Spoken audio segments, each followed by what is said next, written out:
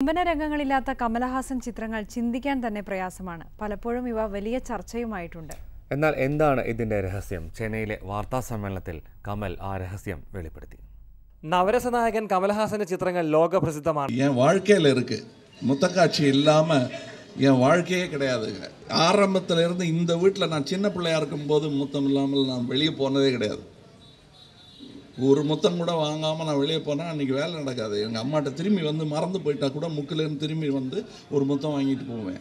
So முத்தம் என் கூட பிறந்த ஒரு உரிமை. Unfair to curb cinema you are stopping Indian cinema form becoming international நல்லவனா கெட்டவனா? அவன் படத்தின் நாயகன். ஏஷானத் நியூஸ் சென்னை.